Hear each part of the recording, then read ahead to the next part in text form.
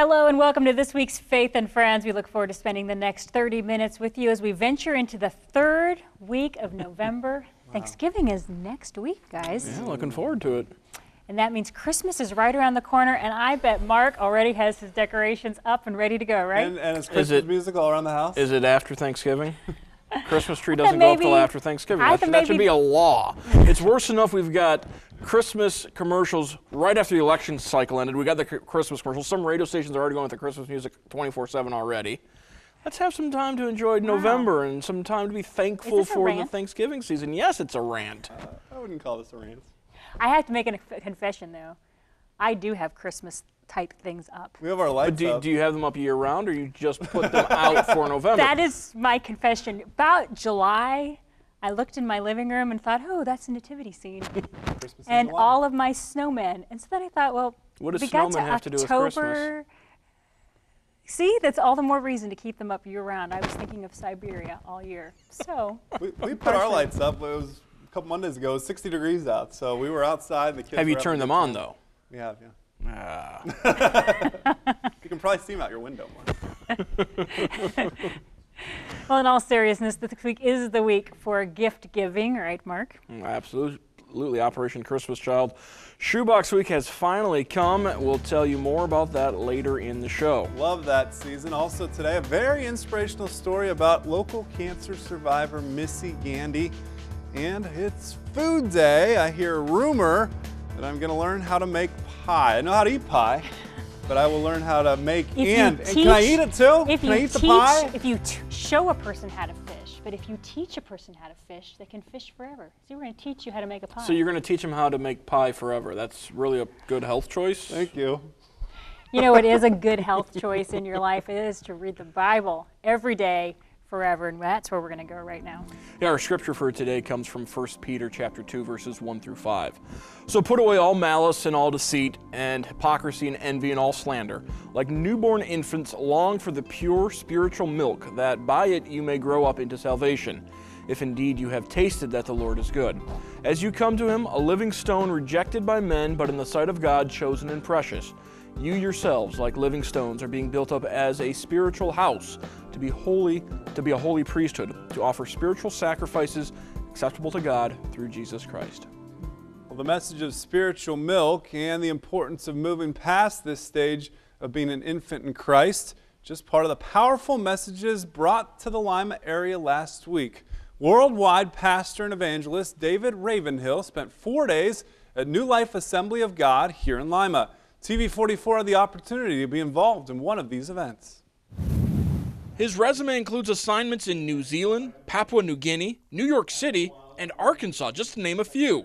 David Ravenhill, son of the late Leonard Ravenhill, who grew up being influenced by individuals like A.W. Tozer, spent four days in Lima earlier this month for the same reason he spent years all over the world to preach the gospel and share the life changing message of Jesus Christ.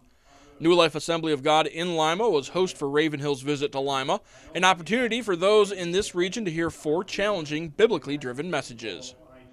Am I prepared to allow God to have His reign in my life, to rule over my finances, rule over my time, my affections, my desires, all of those things? Am I prepared that He takes the throne of my life? From Genesis to Revelation, Ravenhill uses poignant scriptures to send the message that God wants his children to grow and that growth must include abiding by the scriptures. I mean, I think the compromise in the church is the thing that would trouble me the most, you know, just lowering the standards and. Uh, you know, I liken it to a, uh, a, student going to a professor the first year of college and saying, What's the bare minimum I need to get do to get by your class? I don't want to ace it in any way. I just want to make sure I get a passing grade. You know, we've got that attitude with God. You know, I want to make sure I get through the pearly gates. Don't want to go to hell, but, you know, take me any further. It's important to get back to the Word. We need to get. We've got a lot of we got a lot of good things, but we don't have the thing. We need the Word of God brought back. We need the message, the simple message of the good news, the gospel. Christ calls us to give. You see it evidenced in churches like New Life Assembly of God, and is also the theme of the holiday season, of course. Well, TV44 is in the middle of our annual pledge campaign, and we're so thankful for your partnership as we plan for 2015. Now, as part of that campaign, TV44 is participating in Giving Tuesday. It's coming up on December 2nd. As God gave to us with the gift of His Son, Giving Tuesday is an opportunity to give to others. You'll be hearing more about Giving Tuesday here on TV44. In the meantime, we've got a short video to tell you why Giving Tuesday is important. At Thanksgiving, many of us reflect on the good people and things we have in our lives. We pause to rest, reflect, and take care of our families and friends. But after the consumer holidays of Black Friday and Cyber Monday, many of us are also taking the opportunity to turn that gratitude into a tangible act on Giving Tuesday, a worldwide effort promoting charitable donations on the Tuesday after Thanksgiving. It's a day to spread the word about doing good for others and take responsibility to do some of that good ourselves. By participating in Giving Tuesday, you'll join a movement that can be of enormous benefit to the organizations doing work that you care most about. So this Thanksgiving, spend time with the ones you love, and on Giving Tuesday, share a little love by giving a gift to help your favorite charity fulfill its important mission.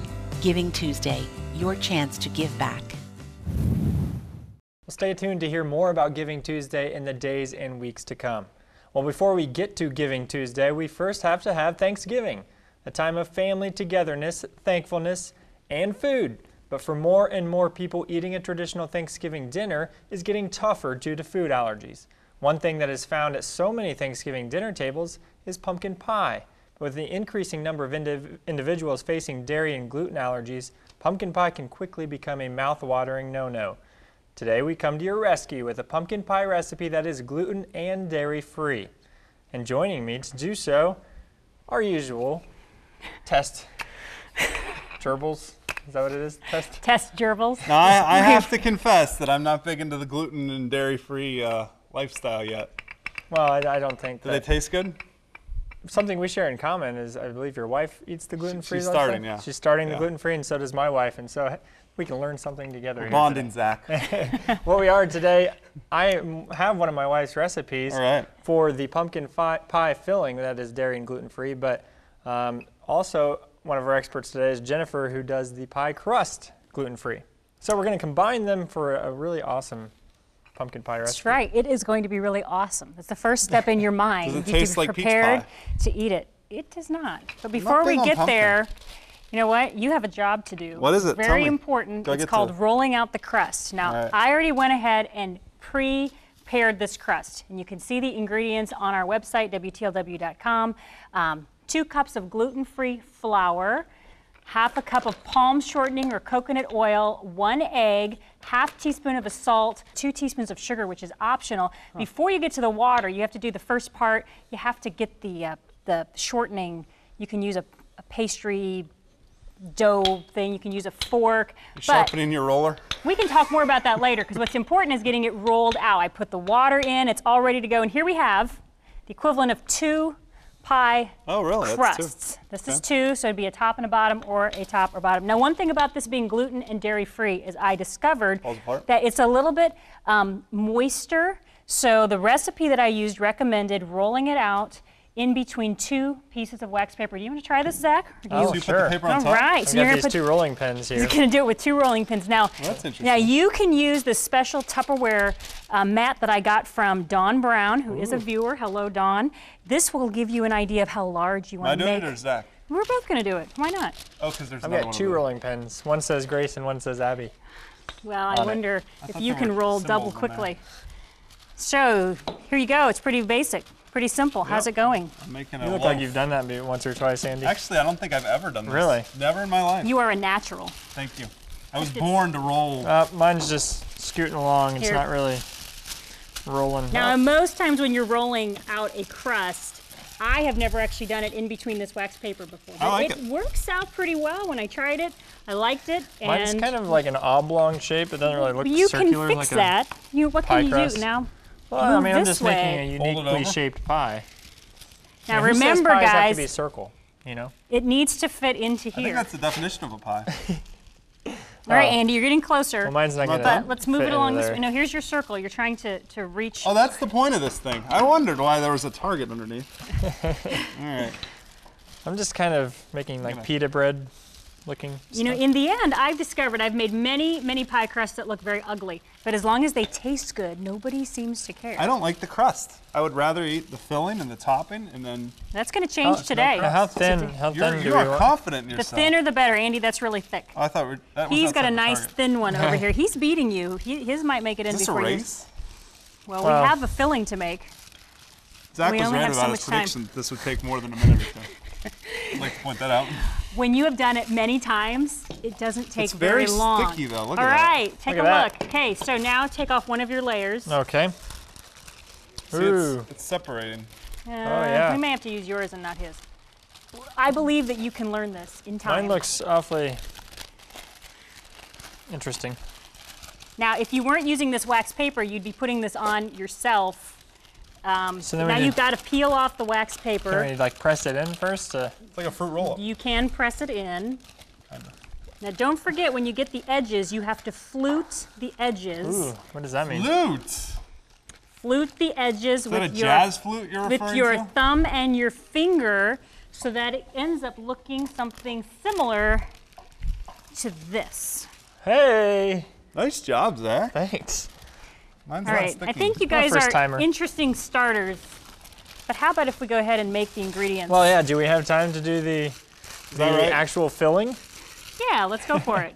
All right, because I've got that covered over here for the gluten and dairy-free pumpkin pie filling. You can see we have a variety of ingredients. We'll go through them real quickly, starting with one mashed banana, one cup One of mashed- pumpkin, Wait a of second. course. Wait a second. Oh yes. What are we making? Oh yes. This is pumpkin pie. One cup Banana Can you hand me that? of pumpkin you see there. Now this is interesting. Look at the vanilla pudding mi- mix there, and it's very important to note that this is the Jello brand pudding mix. Why? Because it's dairy-free with few ingredients uh, that are going to cause, or very few ingredients that are going to cause issues, and so very important Is here. there but, normally pudding and pumpkin well, pie? no, but this is going to serve as your thickening, one of your thickening agents. I might like Um, this is one of the differences, but this is the gluten and dairy-free we're after. So, continuing with the ingredients, we've got two You eggs we're going to throw in. Violent with that that banana. half a cup of unsweetened almond milk. Of course, there is sweetened almond milk, but this is half a cup of unsweetened. pour This that is in. important for all your dairy allergies out there. A teaspoon of cinnamon,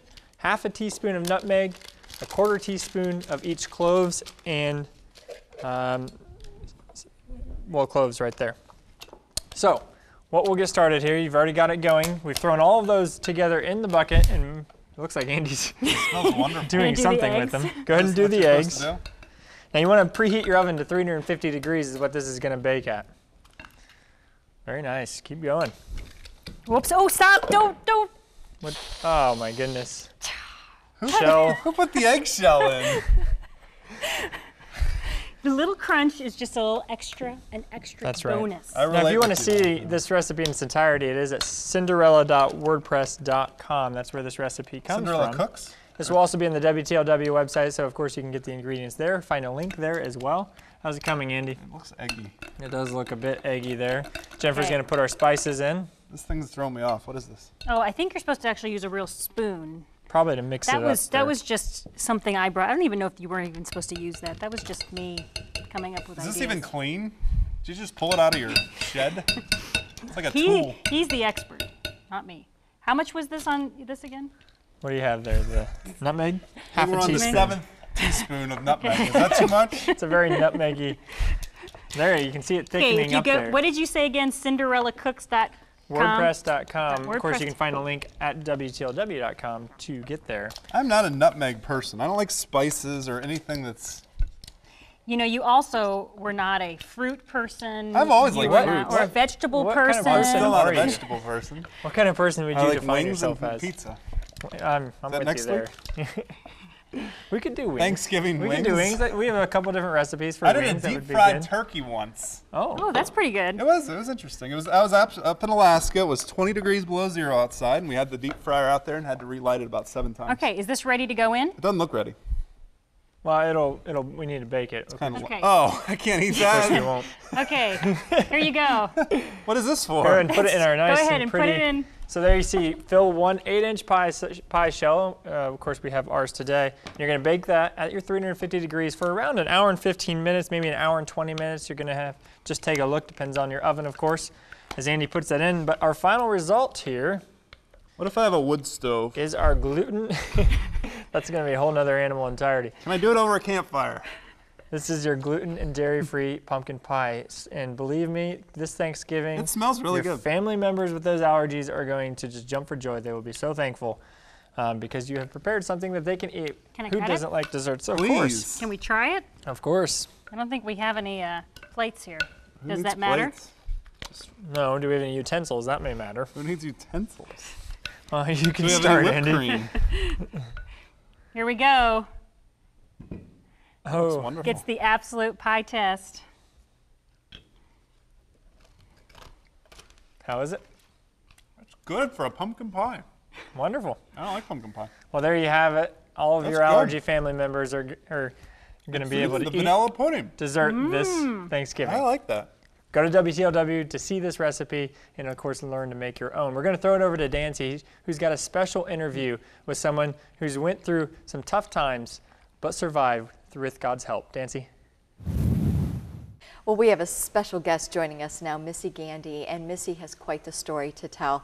Many of you are probably familiar with the uh, Chicken Soup for the Soul books that are out there. Well, we don't need that because we have Missy joining us. And Missy, you um, have survived cancer. I have. And um, your story is remarkable. And um, let's go from maybe when you were first diagnosed, if Okay. we could, um, what your symptoms were, and then how your life just has taken off from there. It's it's definitely been crazy, but I found out in May of 2011 that I had rectal cancer and with vaginal involvement.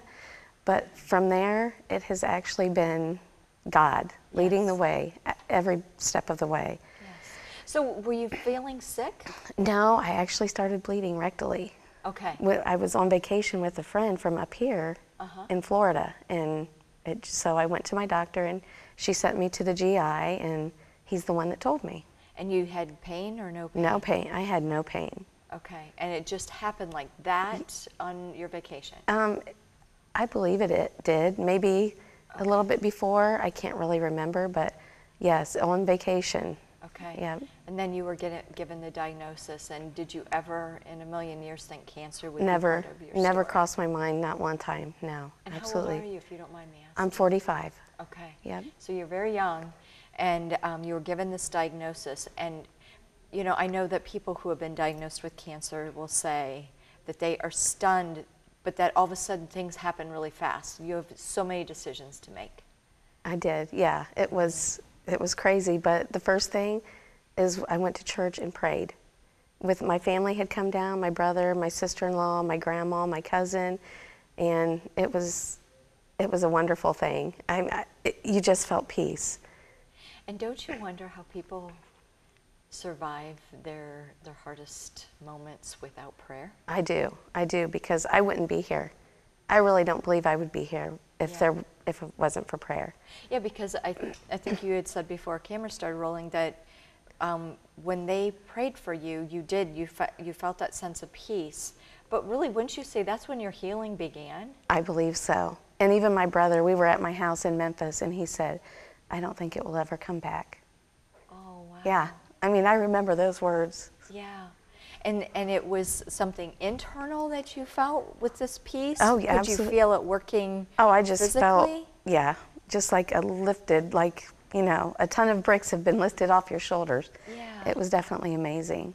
So then, after that, um, you know, they gave you that that will and the ability to go on to the next step. Then, what was that next step? Um, I went to I went to treatment. I started my treatment, and then September seventh, two thousand eleven, that is when I actually had my um, my surgeon called it an iceberg, my tumor removal. But before that, we went to church. It was a Wednesday, and we all we it's kind of in downtown Memphis, so we kind of cleaned up the area because that's what I did. And my family's like, "What are you doing? You have to be to the hospital in a couple hours." I'm like, "This is what we do on Wednesdays. We clean up around the church area." Doing God's work. doing God's work. That's right. And that's what we did. And then we went to the hospital, and I was supposed to be in surgery for eight and a half hours. I was in for five and a half. I was supposed to go to ICU. I did not go to ICU. I was supposed to be in the hospital for 10 to 21 days. I was in, I can't remember, it was either five or six nights. And then when I was out of the major surgery, I had no pain medication because I had no pain. No pain. That and uh, that alone is remarkable. Yeah, I mean, I'm cut from almost my breastbone to my pelvic bone, and then my ileostomy. I was either supposed to have an ileostomy or a colostomy for six to 18 months, and it was an ileostomy for three months, and no pain whatsoever. How about your physicians and, and the surgeons? Were they were they faithful people as well? Absolutely. My the GI who first did my colonoscopy, he called me at home, Yeah. prayed with me, prayed after my surgery, oh. and actually just called maybe two months ago to see how I was doing. Definitely faith filled, yes. And that alone gives you the the. I mean, I would just think when they put you to sleep, that that gives you that Oh, sense that you're you're you're covered. Yes, absolutely. And I had a prayer list, and everybody, or you know, everybody signed up, and I'm sure people from up here prayed. Oh yes. you know, and Yes. down there, but I have a list, and everybody prayed every half hour on the or on the hour every hour, and it was just Yeah. just knowing that, I think gives you a peace. Absolutely, and that was in 2012. 2011. 2011. Mm-hmm. So then you've had your surgery. Um, you have um, you began the healing, the the real healing of of your body. Absolutely. Um, and how have things gone since then? Wonderfully, I ended up moving back here. This is where my family lives. Uh-huh. Um, lived in the house that I actually grew up with my grandparents, and things have been. I work now at an animal hospital that I used to work at years ago, and things couldn't have gone any better. I'm thankful every day that I'm here to raise my daughter, and to, you know, tell about God's will. I try to tell my story. To anyone, Every, right? Anybody that will listen, I do, because I just want them to know that He is our healer. He's my healer and my physician. Yeah. He, What do you tell people though? And and this is the hard part. Is you know there are people out there that don't survive, absolutely. And that things don't go the way that they pray for. What does that mean then? Do you think? That it's in God's timing, and I, you know, I'm thankful for my timing still left here, mm-hmm. and I don't. All I can pray is that you know they have the courage and the strength, and I, you know, pray God's will, mm-hmm. and I just pray for them. Right. And that, that he walks with them as they go through their journey. Absolutely, He is with them every step of the way. Of that, I have no doubt. Yeah, definitely. Well, I hope you continue telling your story because it does, it gives us hope. And for those people out there that are are struggling right now and trying to figure out, is this all real? Is, you know, am I alone or am I not Absolutely alone? not alone. No, No, you are never alone. He goes before you. definitely. Yep. Before you, with you, behind you. That's He's right. all over, right? Absolutely. All right. Missy, thank you so very much for being with us and God bless you. Thank you. Yeah. Back to you. Thank you, Dancy, and thank you, Missy, for sharing that testimony. Mm-hmm. We're so grateful the way God has healed her. But you know what amazes me is the way, of course, I would expect her to be thankful, but the way she just has used that as an ongoing ministry, what God has done through that healing. Yeah, what, what a wonderful disposition to, to have after going through something like that. Certainly an inspiration to others. Well, Zach is back. He's put away the cooking supplies, although the, the pie is still out here on the table, and he joins us with an important announcement. Did you guys like a piece? Uh, mean, can I have another one? I know you wanted to eat the whole pie. It's so. really good. Well, the week is finally here. We've been telling you about it for weeks, encouraging you to pack toys, toothbrushes, and a lot of prayer. And this week is the week to bring your Operation Christmas Child shoeboxes to TV44. Do you have our, our example box with you, Zach? Well, you know, in fact, no, we do not because Jennifer's box is gone. Next week, we'll show your video proof, show you video proof that is now in the beginning of steps to being sent overseas. Of course, Jennifer promised that that would be shipped away, That's Exciting. and so we will we'll show you that. But uh, Some of my, you know, there were some very sentimental things from my daughters in that box. I had to determine whether I was going to actually gift it away or keep it. well, here's But- the real question: Did you take out the candle, and did you take out the chocolate chips that were not supposed to be in there? And the razor blades that you. Oh no, never mind. Never mind. No, of course I would not put. My goodness, Andy. People need to shave. Children, Children- need to shave? Well, maybe not. Well, anyway, here are the drop-off times right here at TV44. Tomorrow, Tuesday and Wednesday, 10 to 5. Thursday, 10 to 7. Friday, again 10 to 5. Saturday 10 to 1, and then still on Sunday 1 to 4. When you're coming to the TV station to drop off your shoeboxes this week, also plan to bring back your viewership survey if you haven't already sent it back by mail. Now, last week, all ongoing financial donors were mailed a postcard sized survey asking you a very basic question. Please let us know your TV setup. How do you watch TV 44? Options answers included antenna, satellite, satellite plus antenna, and cable. Now, if you already have this information from you, you don't need to mail in the survey. It's a short, quick question, but the data is very important to us, and if you have any questions, feel free to give us a call at 419 339 4444. Well, our annual fall campaign continues this week, and we are again so thankful for those of you who are partnering with us financially for the 2015 year. We certainly uh, have had some great responses already. Folks that love TV 44, some of our different shows, and uh, Faith and Friends certainly comes up often as well. But some folks to thank here, Jennifer. We are very, very appreciative. Mrs. Dale Parrott of Van Wert, thank you for your generous individual gift. Mr. and Mrs. Charles Montgomery of Bluffton, thank you as well. And Ms. Eleanor Smith of Rushsylvania. What a what a, a generous monthly gift. Thank you very much. Certainly some gifts from Putnam County as well as the Schmitz from Ottawa with a monthly donation and also the Amstutz from Pandora with a one-time gift. Certainly you can have a monthly gift or one-time gift. You can also set up a, an automatic withdrawal from your banking account. Our goal is $200,000 and so far ooh, we've got a little ways to go. I'm going to be honest with you. We're hovering around $16,000, $17,000 right now. So your partnership with us is something that we definitely appreciate. We're in this together to witness the living word throughout the region. Want some more information? We're always welcome to give us any questions. Give us a call at 419-339-4444 or look at the back of your campaign letter that was sent in the mail.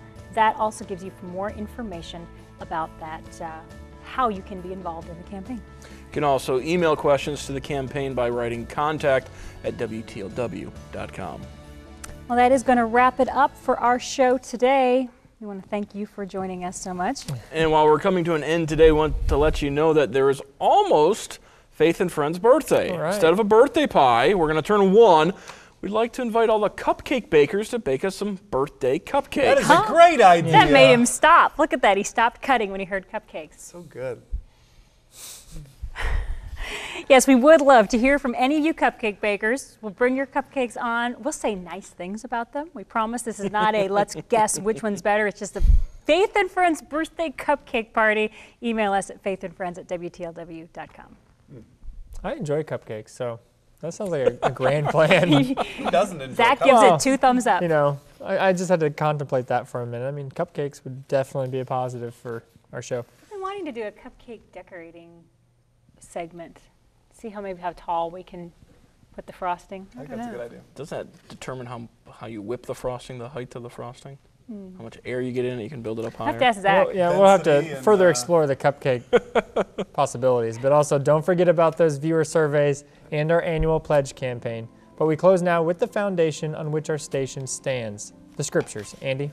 Better put my pie down. First Peter, it's not my pie, it's everybody's. First Peter 2, 1 through 5. So put away all malice and all deceit and all hypocrisy and envy and all slander.